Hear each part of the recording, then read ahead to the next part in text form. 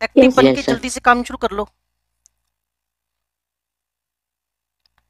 हाँ भी अगला नंबर है कोई आपके पास?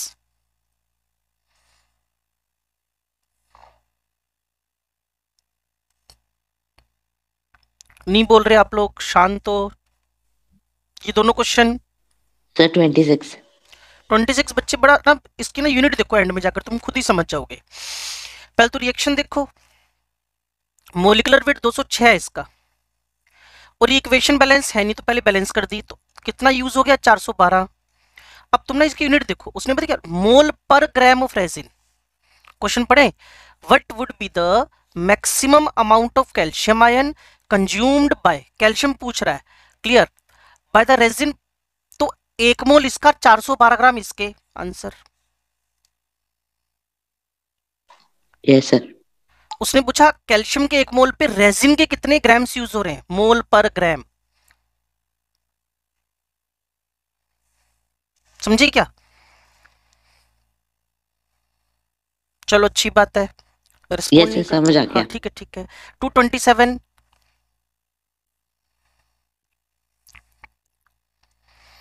हाँ जी अगला पेज बच्चे नंबर आपको बोलना पड़ेगा फिर मैं डाउट बताऊँगा आपको। थ्री पॉइंट सिक्सटीन में। 3.16 से पहले किसी बच्चे को कोई डाउट नहीं है? सर थ्री पॉइंट थ्री बता दो। थ्री पॉइंट फाइव ही बता दो। 3.3 याद करो क्या बताया था ये? आर अब कल ही तो असाइनमेंट का क्वेश्चन निकाला था बच्चे डिस्प्लेसेबल नहीं डिस्प्लेस्ड एक ही तो एच निकल रहा है इसका तो molecular weight divided by one कर दो आंसर आ जाएगा। Okay, आप आप थोड़ा सा नोट्स भी चेक करा करो साथ साथ में। आपको बताया था N A H H three मैंने तो उसको तीन इक्वेशन लिखवाई थी मुझे अच्छी तरह याद है। H three P O four एक H three P O four दो N O H H three P O four तीन एन ओ एच फिर मुझे इतना भी याद है मैंने पहले लिखवाया था डिस्प्लेसेबल जानबूझ के मैंने फिर डिस्प्लेसेबल का ए बी एल ई काटा फिर उसकी जगह लिखा displaced how many H are displaced one तो equivalent weight is equal to molecular weight by one ठीक है सर। अगर इसकी जगह दो एन एच होते बताओ बेटा क्या करते फिर? बाय टू कर हाँ बाय टू कर by two. Three point five. अब थ्री पॉइंट फाइव को ना थोड़ा सा तसल्ली से देखो ये ऐसे क्वेश्चन है जो दस दस सेकंड में हो जाते हैं बच्चे ध्यान से सुनो। पहले तो एम एक्स ओ वाई सोच लें। अब मुझे तो पता है और आपको भी पक्का पता है कि ओ की वैलेंसी क्या होती है दो। तो एक्स की वैल्यू तो दो है ही ना। ये जो एक्स है ना बच्चे इसकी वैल्यू तो टू है ही ना। ठीक है अब सुनो a metal M of equivalent mass E valency कितनी है? वाई ये वाई किसकी वैलेंसी है? जिस बच्चे ने क्वेश्चन पूछा वो कौन है? सर गुरमन बच्चे वाई किसकी वैलेंसी है एम की? तो वाई को जब इस पे यस और no yes sir Y is the valency of M उसके इक्विवेलेंट वेट से मल्टीप्लाई किया तो उसका एटॉमिक वेट बना कि नहीं बना? तो जहाँ भी equivalent weight multiply with valency होएगा equivalent weight multiply with valency होएगा equivalent weight multiply with valency होएगा equivalent weight multiply with valency वो पक्के आंसर हैं। अब आपके पास जो x की वैल्यू है, वो दो है तो टू टू से कट गया इक्विवेलेंट वेट इंटू वाई ये मल्टीप्लाई तो गलत ये मल्टीप्लाई नीचे जाकर तो गलत। तो आपके पास एक ही तो आंसर बनता है। कौन सा वाला? Equivalent weight multiply with valency equivalent weight multiply with valency और टू टू से कैंसिल हुआ तो ये एटॉमिक वेट के बराबर वैल्यू आ गई आपकी।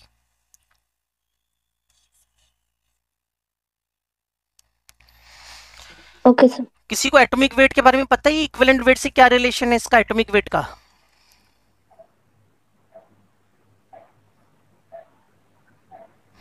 मुझे लगता है आपसे क्वेश्चन नहीं पूछने चाहिए बस सीधे सीधे बस काम कराते रहो ना। और वो फ़ायदेमंद नहीं है सीधे काम ही कराना अकेला। Weight equivalent into weight valency equal हाँ तो इक्विवेलेंट वेट इनटू वैलेंसी आपके पास क्या हुआ? ई इंटू वाई और टू टू से कैंसिल होकर सीधा सीधा कौन आ गया? एटॉमिक वेट यस सर अगला नंबर कौन सा था? सर थ्री इलेवन बता दो एक बार। थ्री पॉइंट वन वन हाँ जी। A certain amount of metal whose equivalent mass is 28 लो जी, अच्छी बात है। Displaces 0.7 litre of hydrogen clear अब 0.7 लीटर ऑफ़ हाइड्रोजन आपको पता है, अगर आपके पास 22.4 लीटर ऑफ़ हाइड्रोजन हो तो इसका मास क्या होता है आपके पास? दो ग्राम। 0.7 लीटर हो तो दो बट्टा 22.7 22.4 इंटू पॉइंट सेवन ग्राम्स ये हाइड्रोजन का मास आ गया। अब इस क्वेश्चन की पोल खुल गई, कैसे? हाइड्रोजन डिस्प्लेसमेंट मेथड से इक्विवेलेंट वेट कैसे निकलता है? मास ऑफ़ क्या लिखा? Certain amount of metal whose equivalent mass is 28 28 displaces इतने ग्राम हाइड्रोजन डिस्प्लेस कर रहा है। मास ऑफ़ एलिमेंट पता लगाना है, अगर आपको याद हो तो कैसे निकालते थे? ये मास ऑफ़ द हाइड्रोजन है ये वाला मास ऑफ़ द हाइड्रोजन है। क्लियर और यहाँ आपके पास मास ऑफ़ क्या आएगा? मेटल आएगा। Element. तुम्हें क्या क्या पता है? हाइड्रोजन का मास पता है ये रहा। तुम्हें क्या क्या पता है? उसका इक्विवेलेंट वेट पता है मेटल का या एलिमेंट का? तो सीधा मास ऑफ़ मेटल निकल कर आपके पास कैलकुलेशन के बाद आंसर आ जाएगा। ठीक है सर सीधे सीधे फॉर्मूले लेकिन थोड़े घुमाए हुए हैं बस। वैल्यूज़ घुमाई हुई हैं हल्की हल्की अगले दो क्वेश्चन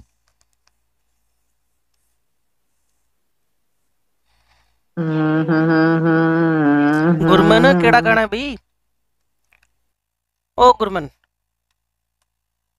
ये गाने का कीड़ा कूड़ा होता है क्या यार तुम करते क्या हो यार क्लास में बैठ के तो ऐसी हरकतें मत करो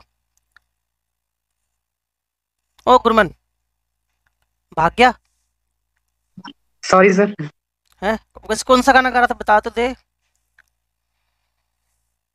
ओ गुरमन बता दे यार ये बताएगा नहीं है मुझे पता है। हाँ जी। Fourteen fifteen sir three sixteen three point one six हाँ जी हाँ जी टेंशन ना लो। Specific heat of an element इसका आंसर नहीं आ रहा बच्चे देखो कटा हुआ है ना। ग्यारहवीं के, बच्चे थे ना उनसे ली हुई है मैंने ये। इसका आंसर नहीं आ रहा। एक्चुअल में जो मैंने तुम्हें उस दिन बताया था ना हम उसके अकॉर्डिंगली कर लेते हैं चारों में से हम जाएँगे नहीं। स्पेसिफिक हीट का मल्टीप्लाई किससे करो? एटॉमिक वेट तो सामने क्या आता है आपके पास? 6.4 और आपको याद है इसकी यूनिट क्या कराई थी? 6.4 की।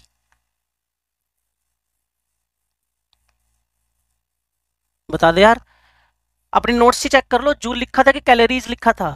कैलोरीज कैलोरीज लिखा था। कैलोरी 6.4 कैलोरीज में ही आ रहा है इसका मतलब। ठीक है बिल्कुल।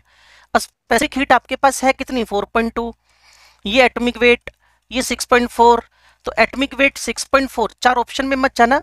सिंपल सिंपल अपने सॉल्यूशन की तरफ़ जाना। Atomic weight is equal to 6.4 by 4.2 और पूछ क्या रहा है? एग्जैक्ट तो एग्जैक्ट के लिए आपको करना क्या पड़ेगा? Equivalent weight into valency is equal to क्या होता है? एटॉमिक वेट तो आप सोचो एटॉमिक वेट तो वैसे ही दो ढाई निकल रहा है और इक्विवेलेंट वेट 8.9 हो रहा है। तो क्वेश्चन में फॉल्ट है यहाँ पे। अरे इक्वल वैलेंसी कभी एक से कम थोड़ी होती है पुत्र। तो यहाँ तो वैलेंसी पॉइंट्स में आ रही है।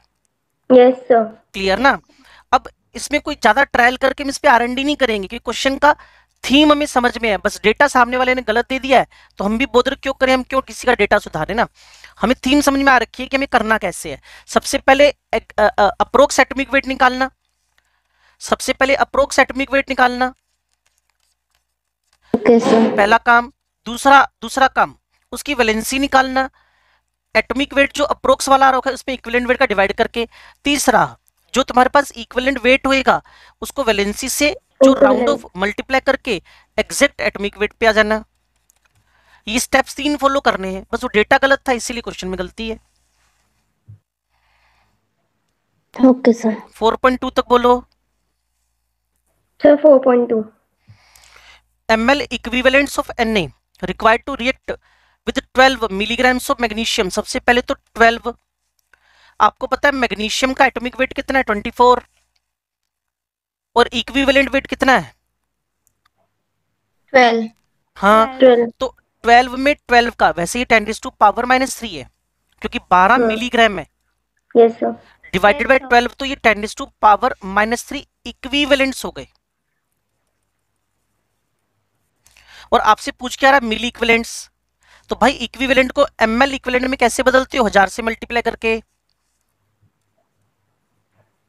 ठीक है प्रॉब्लम पता है क्या बच्चे? एक- हम ना किलोमीटर को मीटर में तो कन्वर्ट कर लेते हैं। लेकिन हम इक्विवेलेंट को मिली इक्विवेलेंट में बदलते हुए डरते हैं। भाई इक्विवेलेंट को एम एल इक्विवेलेंट में बदलना कौन सी प्रॉब्लम है? क्योंकि इक्विवेलेंट को मल्टीप्लाई विद वन थाउज़ेंड करना है।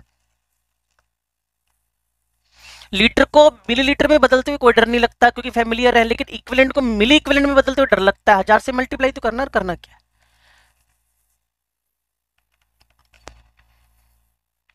क्या 4.2 की थीम समझ में आई आपको?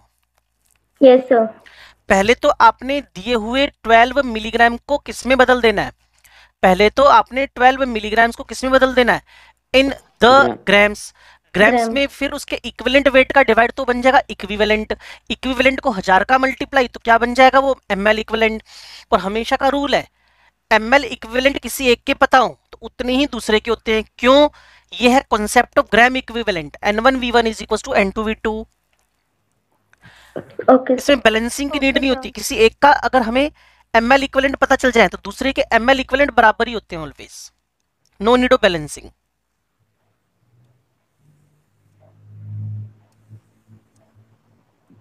अगला नंबर? Four point five.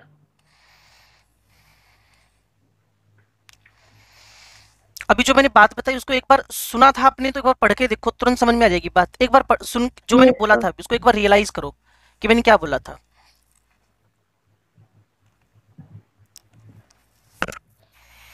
अगर आपके पास point zero one M solution of K M N O four from its impure sample बनाना है of which the percentage purity is known the weight of KMnO4 required will be theoretical mass का ज़्यादा ही जो impure है impure है।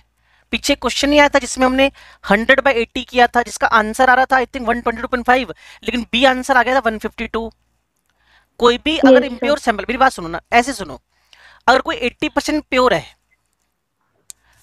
मेरी बात सुन पा रहे हो? 80 परसेंट प्योर है मतलब इसमें इम्प्योरिटी 20 परसेंट है और तुम्हें उसका अगर 100 ग्राम यूज़ करना है तो तुम 100 ही थोड़ी लेके चलोगे। 120 लेके चलोगे 125 लेके चलोगे 130 लेके चलोगे। अमाउंट तो जितनी चाहिए उससे ज़्यादा लेके चलोगे ना क्योंकि इम्प्योर है वो। यस सर यही तो कह रहा है वो लेस देन से तो और कम क्वांटिटी आएगी। मोर देन से एग्जैक्ट उतनी क्वांटिटी आएगी जितनी आप चाहते हो। ठीक है सर अगर कोई भी सब्सटेंस प्योर है तो 100 परसेंट यूज़ कर लो। कोई इम्प्योर है तो ज़्यादा यूज़ करोगे तभी तो एग्जैक्ट उतनी क्वांटिटी तक पहुँच पाओगे ना जो चाहिए। हम्म yes sir sir four point seven बता दो। अब पढ़ो अपने आप 4.7 अभी तो बताया था। ठीक है सर इसका आंसर वही आ गया पॉइंट वन पहला आंसर वही होगा वही वही होगा यस सर हाँ ठीक है ना? Concept is N one V one is equal to ये बहुत कोई डिफ़िकल्ट कॉन्सेप्ट नहीं होते बस हम फेमिलियर नहीं है। या फिर जब हम ग्यारहवीं बारहवीं काम कर रहे थे, हम सीरियसली इस पर बात ही नहीं कर पाए। ये बात है बस, और कुछ नहीं।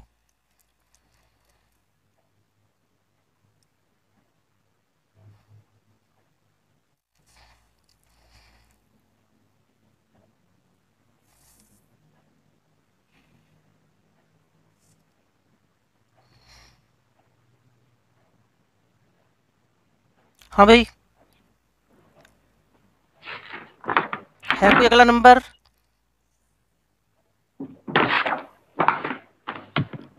sir four point one seven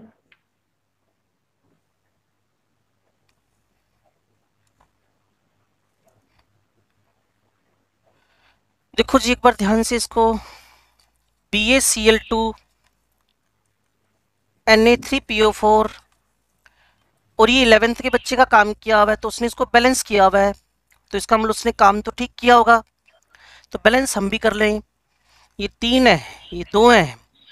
ये ऐसे चलेगा, ये सिक्स हो जाएँगे क्योंकि एन अब वो कह रहा है in the above equation if the number of moles of C C ये ए है, ये बी है, ये सी है, ये डी है। Moles of C formed are 0.2 ठीक है? देन ए रिएक्टेड इज़ 0.6 तो इसको यूनिटरी से करके देखो इसके तीन तो इसका एक। अगर तुम तीन B A C L two use कर रहे हो ना बच्चे तो एक B A three PO four होल्टाइस बन रहा है। सर तो अगर तुम पॉइंट सिक्स यूज़ करोगी। ठीक है सर ठीक होगी बात? C sir point formed 0.2 then A reacted in is 0.6 ये तो ठीक जा रहा है? अच्छा जी Yes, sir. अब और आगे बढ़ते हैं। एम एल इक्वलेंट तो हमेशा बराबर ही होते हैं बच्चे। M L equivalent of D formed is point two then A reacted point one है ना? एम एल इक्वलेंट तो बराबर ही होंगे ना? अगर वो पॉइंट टू बन रहे तो उसके पॉइंट टू ही यूज़ होंगे। यहाँ कॉन्सेप्ट क्या लगता है? वही सेम जिसको हम तीसरी बार पढ़ रहे हैं आज की क्लास में। N one V one is equal to N two V two और मुझे अच्छी तरह याद आ रहा है, जब थ्योरी में मैंने इस बात को उठाया था ना एम एल इक्विवेलेंट और equivalents are always same no need to balance the chemical equation, but we have need to write balanced equation to confirm about the moles. तीन मोल, दो मोल, एक मोल, छह मोल। लेकिन एक बात बोलूँ one equivalent one equivalent one equivalent one equivalent simple तो ये क्या हो गया? गलत हो गया। अब सीओडी आप पढ़ो, फिर पता चलेगा कि आप मेरे को सुन पा रहे हो कि नहीं।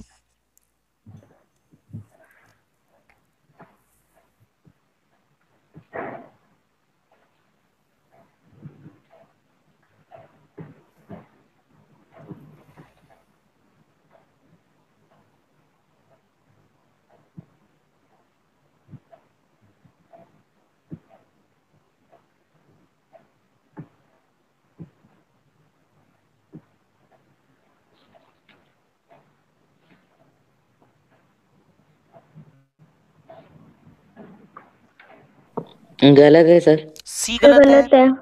यस सर डी पढ़ो।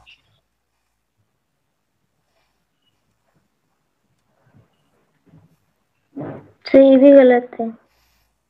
NaCl का एन फैक्टर वन है। उसने कहा जी अगर C पॉइंट दो ग्राम इक्विवेलेंट यूज़ आ रहा है तो D के पॉइंट दो ग्राम इक्विवेलेंट बन रहे हैं। मुझे तो ठीक लग रहा है ये। Na3PO4 के अगर दो इक्विवेलेंट यूज़ आ रहे हैं तो डी के भी पॉइंट दो बन रहे हैं और एन फैक्टर वन है तो पॉइंट दो मोल बोल तो फ़र्क ही नहीं पड़ता। अच्छा तो दो लिख दिया ना उसने ये गलत हो गया। गलत हो गया बच्चे गलत हो गया ये। पॉइंट दो लिख देता तो सही हो जाता। ठीक है। यस सर लेफ़्ट क्यों कर रहा है भाई ये? हाँ जी। आंसर चेक करना बच्चे क्या दिया इसका? सर सेकंड है। मतलब ओनली ए करेक्ट है ना? यस सर चलो। सर वो सी की बात कर रहा था उसमें। नहीं मैंने सी भी इनकरेक्ट बोला और डी भी इनकरेक्ट बोला है ना? पॉइंट दो ग्राम इक्विवेलेंट और दो मोल बराबर कैसे हो सकते हैं भाई? पॉइंट दो इक्विवेलेंट होता और दो मोल होते तो ठीक था NaCl का एक ही बात है वेक्टर वन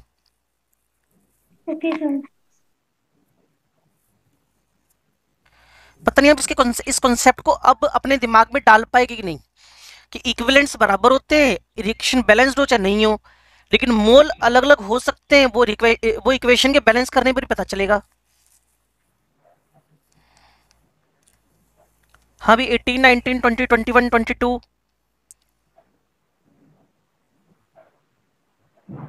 सर एक क्वेश्चन पीछे का रह गया है। फोर थर्टीन बता फोर पॉइंट वन थ्री पीछे तो नहीं है। इसी पेज पर है। ये से मतलब वाले क्वेश्चन के पीछे।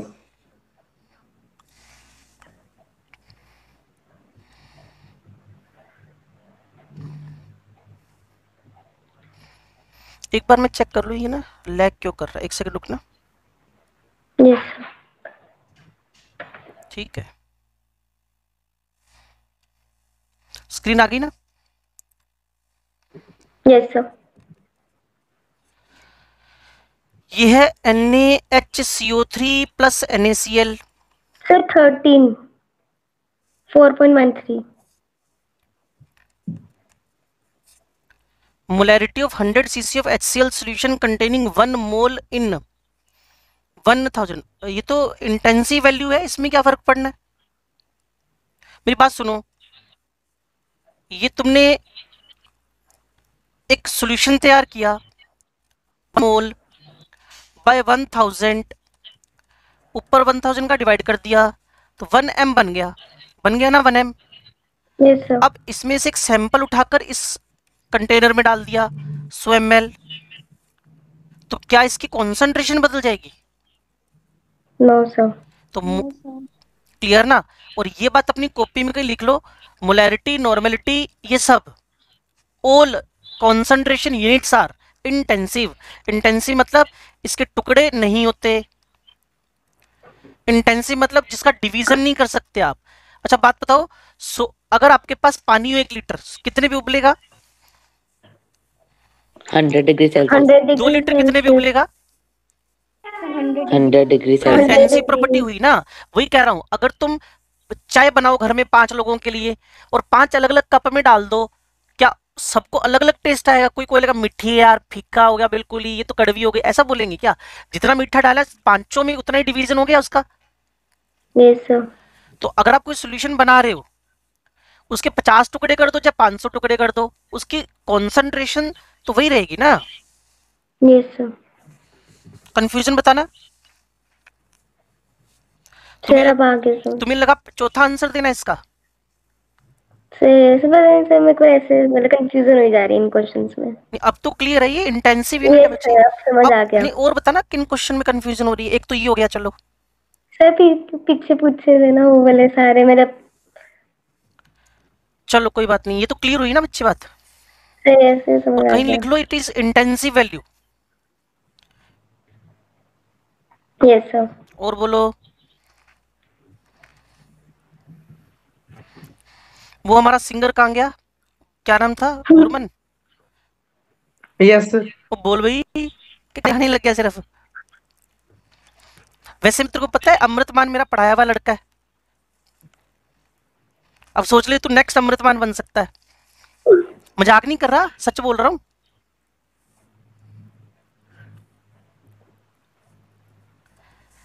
हाँ जी फोर ट्वेंटी फोर बोला सीरियस लगे मेरी बात को ना। फोर ट्वेंटी फोर चलो कोई नहीं पूछ रहा।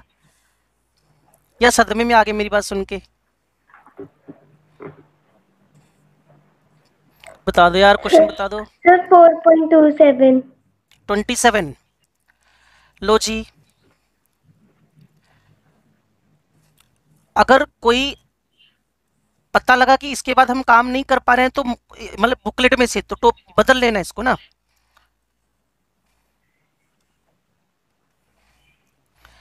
Which of the following graph is not correctly represented clear ये है मोल्स ऑफ़ सोल्यूट मोल्स थोड़ी बदलते हैं किसी के यार। अच्छा ठीक है कॉन्स्टेंटली तो कह रहा है ये। नहीं बदलते ठीक चल रहा है। मेरी बात सुनो ना बच्चे। मान लो तुमने ना एक लीटर पानी के अंदर ना आधा मोल ग्लूकोज डाल रखा हो। टेम्परेचर चेंज करते रहो तो हो सकता है उसका जो वॉल्यूम है ना वो कम कम कम होते वो सोल्यूशन गाढ़ा होता जा रहा है। लेकिन जो सोल्यूट है उसके तो मोल फिक्स ही रहेंगे ना ग्लूकोज थोड़ी उड़ जाएगा बच्चे। यस सर ये तो ठीक कह रहा है ना। मोलैलिटी। टेम्परेचर पे डिपेंडेंट ही नहीं है ये भी ठीक है। कौन कौन डिपेंड करता है? बच्चे स्मार्ट हो। M N N F inversely to the temperature temperature वो सारी वॉल्यूम वाली टर्म डिपेंड करती हैं। अच्छा third fourth mole fraction of the solvent dilution बढ़ने के साथ साथ में। इंक्रीज होगी। हम्म सोलवेंट कह रहे हैं ना तो सोलवेंट बढ़ता गया तो उसकी मोल फ्रैक्शन अगर किसी को समझ ना आया हो तो मेरे पास तरीका है। ये मेरे पास इथेनॉल है ये पाँच ग्राम है और वाटर मेरे पास पचास ग्राम है। ठीक है जी? मैंने वोटर को बढ़ा के सौ ग्राम कर दिया मतलब डाइल्यूशन बढ़ा दिया फिर वन फिफ्टी ग्राम कर दिया डाइल्यूशन बढ़ा दिया दो सौ ग्राम कर दिया डाइल्यूशन बढ़ा दिया। तो जैसे जैसे इनका डाइल्यूशन बढ़ाता जा रहा हूँ सोलवेंट का मोल फ्रैक्शन बढ़ता जा रहा है। बढ़ता जाएगा गलत हो गया।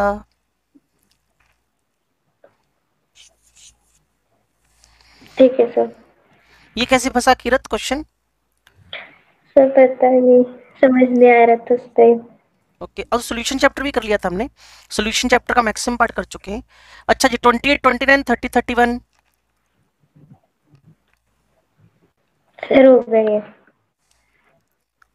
इधर से।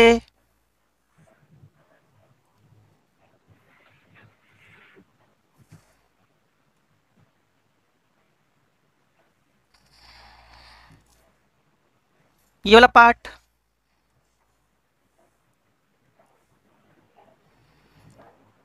मोल कॉन्सेप्ट की लेवल वन की बुक होना भी बहुत बड़ी अपॉर्चुनिटी है तुम्हारी। पता है, अगर तुमने कर ली है तो।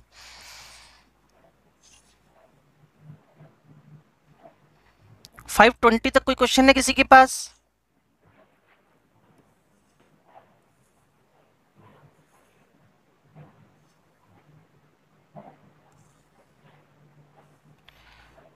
हाँ भाई, क्या करें अब?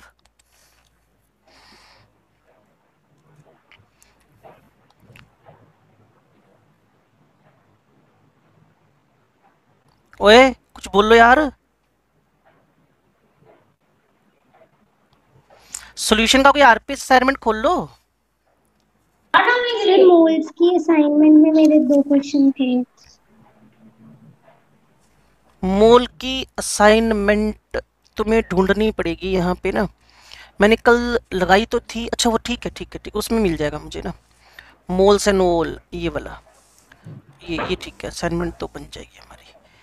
नंबर बोलना number seventy five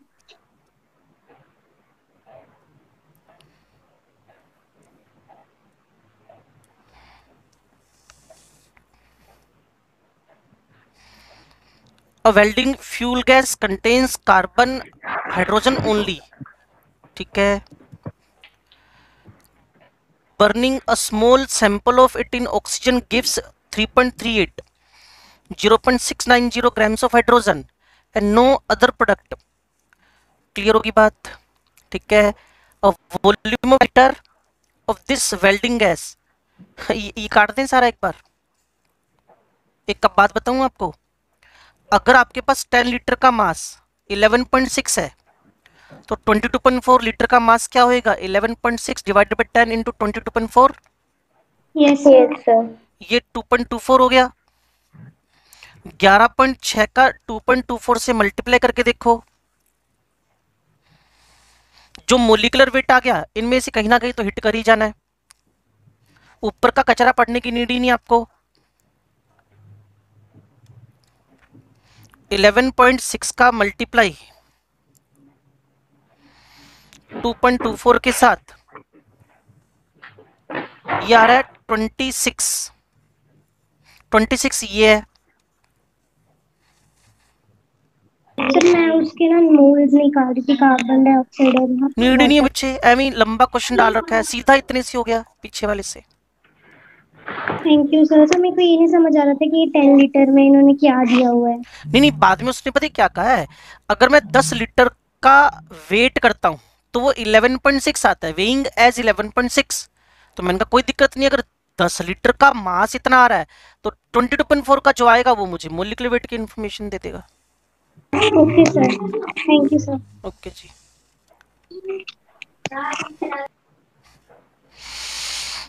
हाँ भाई। सर एक एट्टी सिक्स भी है। और किसी बच्चे के पास इस पेज का डाउट हो फिर बाद में कहोगे डाउट फंस गया बच गया ये हो गया वो हो गया जल्दी से बोल दो।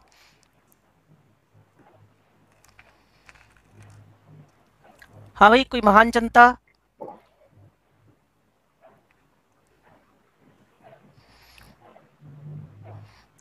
सबसे सही सी बोलो कोई डाउट नहीं है। ये काम लेवल टू लेवल टू किसका? सर बुकलेट का। वो तो चल ही रहा था बच्चे रोक लेते मेरे को तब मैंने इसको खोला ढूंढ के। मुझे लगा आपने सिर्फ़ लेवल वन ही डिस्कस करना है ऐसा तो कभी होता ही नहीं बच्चे आप अपनी चॉइस बताओ हम तो आपके अकॉर्डिंगली चलते हैं बच्चे। हाँ जी सर हम तो अपनी चॉइस लगाते ही नहीं कभी भी जैसा बच्चा बोलता है हम वैसे ही करते हैं। ये देखो बच्चे अगला कौन सा नंबर था एट्टी सिक्स यस सर ये लो जी। ये लिखा कैल्शियम कार्बोनेट, ये लिखा two H C L, calcium chloride, C O two, water.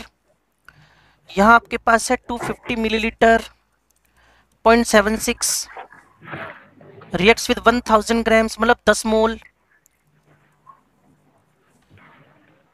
Number of moles of calcium chloride अभी पता चल जाएगा। सबसे पहला काम क्या करना है बच्चे? ध्यान से सुनो और समझो। इसके स्टोक्योमेट्रिक अमाउंट का डिवाइड कर दो।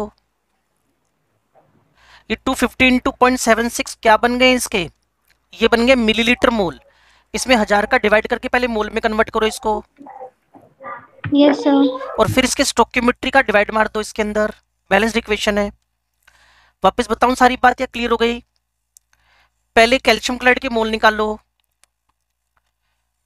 पहले कैल्शियम. क्लोराइड के मोल निकालो हज़ार बटा दस इसको भी काट ही देता हूँ मैं। One thousand by hundred sorry ये टेन मोल ये गिवन है। फिर इसके two fifty point seven six divided by one thousand ये इसके मोल बन गए। ये मिली मोल थे Yes, वन थाउज़ेंड से डिवाइड करते मोल बन गए। आई थिंक ये ज़ीरो पॉइंट टू फोर आ जाएगा। तो ये भी गिवन है zero point two four mole. अब इनके स्टोक्योमेट्रिक इक्वेशन का स्टोक्योमेट्रिक अमाउंट का डिवाइड करो। दस में एक का ज़ीरो पॉइंट टू फोर में भी एक का। सर टू सर टू का नहीं होगा उसमें? टू का। सुन समझ पा रहे हो बच्चे क्या करें? यस सर तो ये आपके पास ज़ीरो पॉइंट वन टू आ गया है। अब चाहता क्या है वो ऑप्शन से? Then the number of moles of calcium chloride formed तो लिमिटिंग रिएजेंट आपके पास कौन हुआ? 250 fifty into point seven six divided by one thousand ये इसके मोल हो गए। वो हज़ार ग्राम था आपके पास ना।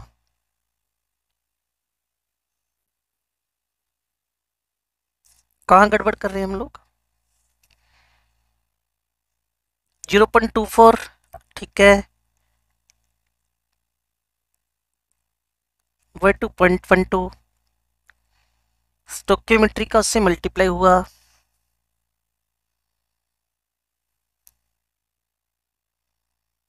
हम्म हम्म।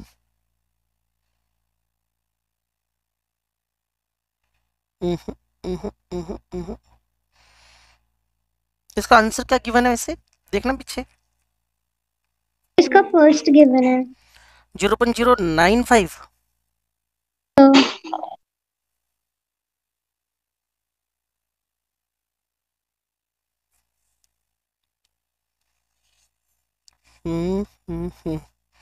कुछ मिस कर रहे हैं इसमें हम लोग? क्या मिस कर रहे हैं?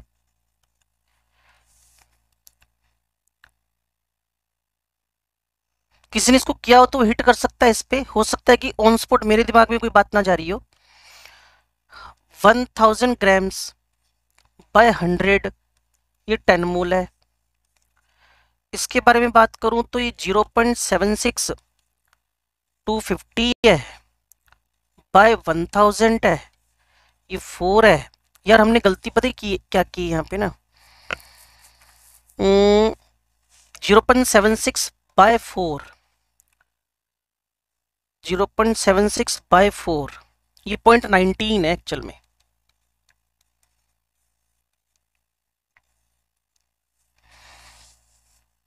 हम्म।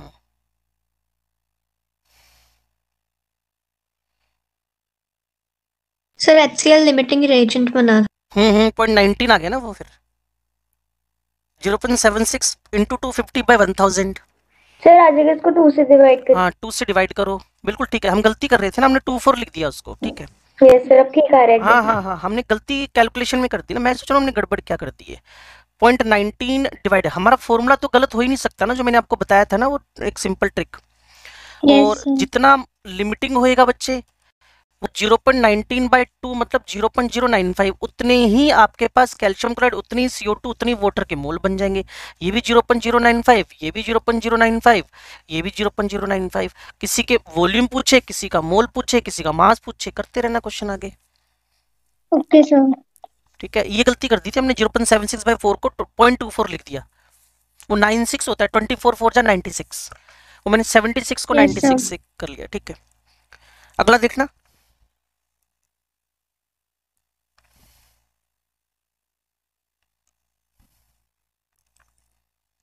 हाँ भाई। चलो फिर अब इसमें से क्वेश्चन वापस नहीं आऊँगा मैं इसके अंदर मैं उधर जा रहा हूँ।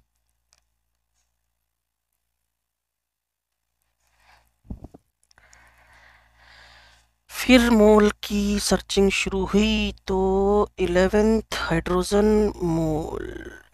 आरपीएस में डाउट था क्वेश्चन बोल देता हूँ आपको मैं। बोल। The number of neutrons in 1.8 gram of water will approximate be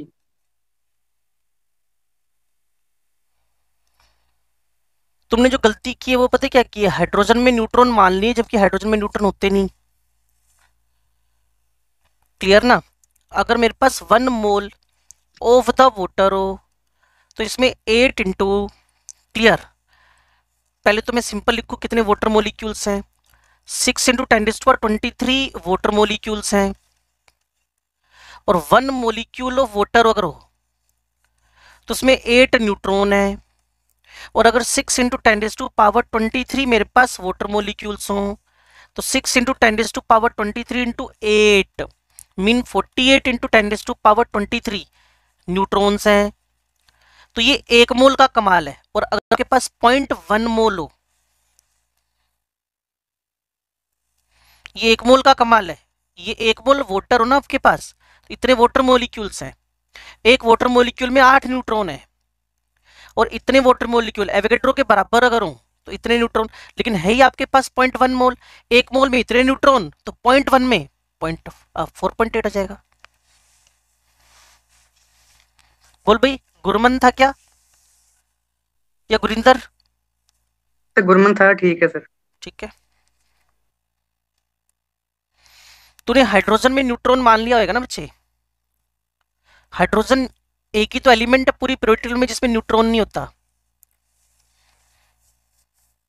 yes sir और नंबर बोल दो फटाफट।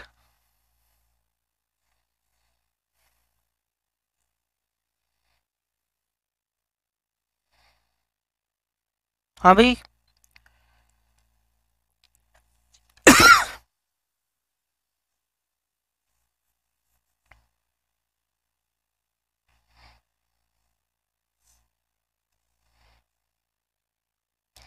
क्या करना है भाई?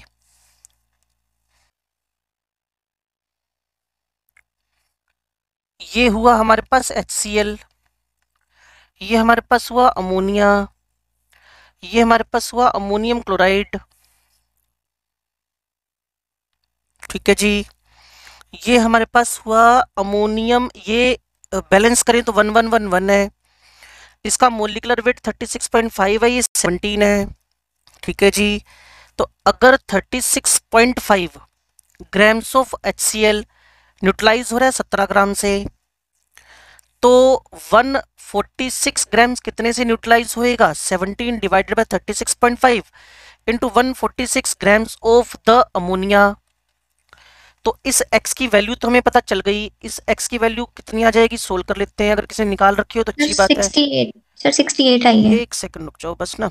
कई बार ना कैलकुलेशन ब्लंडर हो जाता है तो उससे हम उसको फेस ना करें तो वो मैं कर लेता हूँ एक बार। 17 इंटू वन डिवाइडेड बाय 36.5 ये 68 आ गया। तो x का वैल्यू मेरे पास आ गया 68 ग्राम चलो, ये बाद में देखेंगे अब। अब मैं काम कर रहा हूँ क्या? H2SO4 लिख रहा हूँ। Weight of ammonium sulphate required for the production of x grams of उल्टा लिखना है। ये लिखा जी ammonium weight weight of ammonium sulphate required for the production of लो जी, ये दो अमोनिया लिख दिए, ये एक H2SO4 लिख दिया। अब हमें पता है, ये 34 ग्राम्स बन रहा है, क्योंकि अमोनिया पे फोकस है ना हमारा। और इससे हमें कोई मतलब नहीं है। इसका मोलिकुलर वेट कितना आ जाएगा? 98 और 38 ना? थर्टी फोर ये आ गया आपके पास कितना? टू और 132 चेक करना 132 ही है ना? H two S O four हाँ यही आएगा। ठीक है अब बात को जोड़ो थोड़ा सा हो सकता है तुम समझ भी गए हो जिसने भी क्वेश्चन पूछा है। अगर Yes. मुझे 34 ग्राम्स अमोनिया मिलता है 132 से तो 68 डबल 264 से मिल जाएगा। यस सर बात समझ गए ना? हाँ जी सर क्लियर तो आप इसको वैसे फंसे कैसे? जब तुम 34 तक क्वेश्चन ढंग से निकाल के लेकर आई 35 में फंस गई बच्चे। यस सर वो एक्चुअली ना ये इक्वेशन में प्रॉब्लम हो गई थी वो बैलेंसिंग में ठीक है ठीक है। और बोलो भाई।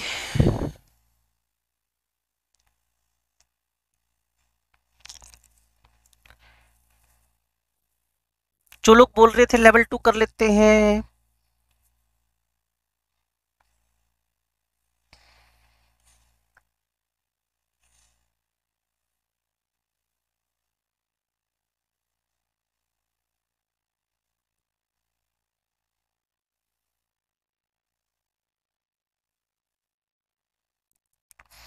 कोई डाउट नहीं इधर तो सोल्यूशन ही पूछ लो। अगर ये बुकलेट पूरी खत्म कर लिया आप लोगों ने तो।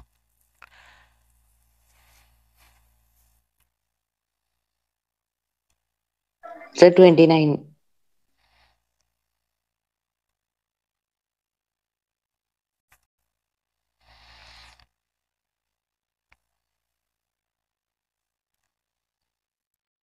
ये नाइट्रोजन रहा ये हाइड्रोजन रहा ये अमोनिया बना। वन मोल इसका फोर मोल इसका क्लियर और वो बाद में सोचेंगे यील्ड क्या है। फर्दर वाटर इज़ एडेड पानी ऐड कर दिया। To this reaction mixture that dissolves all ammonia तो ठीक है ammonium hydroxide mole fraction of H two in the gaseous mixture काम शुरू हुआ। One by one four by three ठीक होगी बात? तो आपको पता है कि एक में एक का डिवाइड चार में तीन का डिवाइड तो लिमिटिंग बन गया वन पॉइंट थ्री थ्री ये। यस सर ठीक है? अब सॉरी ये लिमिटिंग बना ना ये तो one point three three limiting बन गया नाइट्रोजन तो एक मोल नाइट्रोजन ने कितने मोल अमोनिया देना था आपको? एक मोल नाइट्रोजन ने कितने मोल अमोनिया देना था? दो मोल। यस सर लिमिटिंग कौन बना आ रहा था ये पता चला कि नहीं चला? पहले नाइट्रोजन सर। नाइट्रोजन बना ना? तो नाइट्रोजन का एक मोल को इसके स्टोक्योमेट्री से मल्टीप्लाई करके कितना आ गया? दो मोल। ये एक्सपेक्टेड है ना? ऐसे तो करते हैं हम लोग। बैलेंस्ड इक्वेशन Yes, के अमाउंट को ठीक है? अब वो कह रहा है यील्ड 50 परसेंट है। यील्ड 50 परसेंट है। तो 50 परसेंट यील्ड है तो ये एक बना। One mole. ठीक है? अब ये एक मोल बना। हाइड्रोजन कितना कंज्यूम हुआ? हाइड्रोजन एक्चुअल में कितना कंज्यूम होना चाहिए था? पूरा तीन का तीन मोल। यस सर अब तीन मोल। अब मैं से बोल रहा हूँ आपको समझ में आ रहा है? लिख लिख के बताता रहा। हूँ नहीं से समझ आ रहा है। ठीक है हाइड्रोजन का तीन मोल कंज्यूम होना चाहिए था लेकिन 50 परसेंट यील्ड आई है तो तीन मोल में से कंज्यूम कितना हुआ? 1.5 मोल। इनिशियल चार मोल हाइड्रोजन। इनिशियल चार mole hydrogen used 1.5 mole hydrogen sir initial three mole है हाइड्रोजन नहीं चार मोल है बच्चे। सॉरी ठीक है कोई चक्कर नहीं। Remaining 2.5 mole of hydrogen nitrogen की बात कर लू? Initial one mole of nitrogen used half mole of nitrogen remaining half mole of hydrogen ammonia तो सारी गई काम से एक मोल बनी थी वो पानी में घुल गई। अब तुम्हारे पास जो मिक्सचर बचा उसमें टोटल तीन मोल है 2.5 mole of hydrogen 0.5 mole of nitrogen बाकी तो अमोनिया बनी वो सब घुल गई। यस yes, सर तो अब सोचो नाइट हाइड्रोजन के कितना मोल फ्रैक्शन है? टोटल मोल तीन है टोटल मोल तीन है बच्चे? Yes sir remaining two point five हाँ।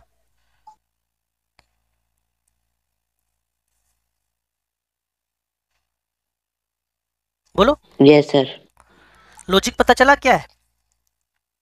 यस सर है ना? पहला काम होता है लिमिटिंग निकालना। ठीक होगी बात? फिर होता है आपको एग्जैक्ट यील्ड निकालना। ठीक हो गया? फिर निकालना है कि परसेंटेज कितनी दे रखी है? तीसरा हो गया। चौथे नंबर पे पता लगाओ कि इनिशियल इतना था यूज़ इतना हुआ बचा कितना है फिर पांचवा काम करना है। कोई छोटा मोटा क्वेश्चन नहीं है पूरा एक पेज भरेगा डेढ़ पेज भरेगा। आपको इतने भरने ही नहीं है। बस डेढ़ दो तो मिनट में आंसर निकाल लेना क्वेश्चन अच्छी कैटेगरी वाला है। ओके सर नंबर बोल सकते हो? नंबर बोल सकते हो?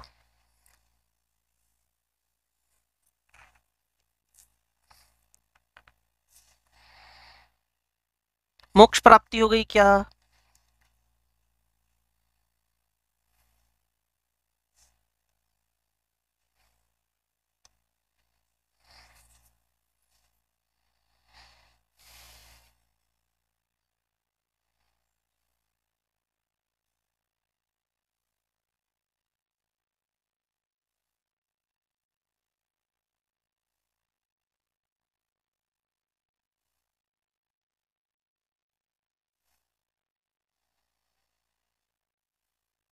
चलो सॉल्यूशन चैप्टर का कोई क्वेश्चन नहीं पूछ रहे अब आप। आरपीएस कोई बच्चा बोल रहा था, अगर क्वेश्चन बोलने तो आरपीएस का बोल दो।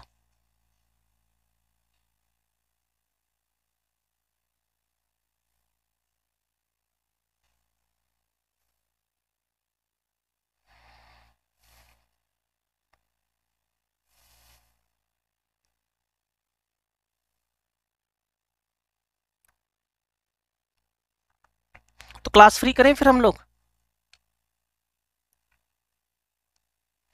इस पर भी कोई रिस्पॉन्स नहीं है।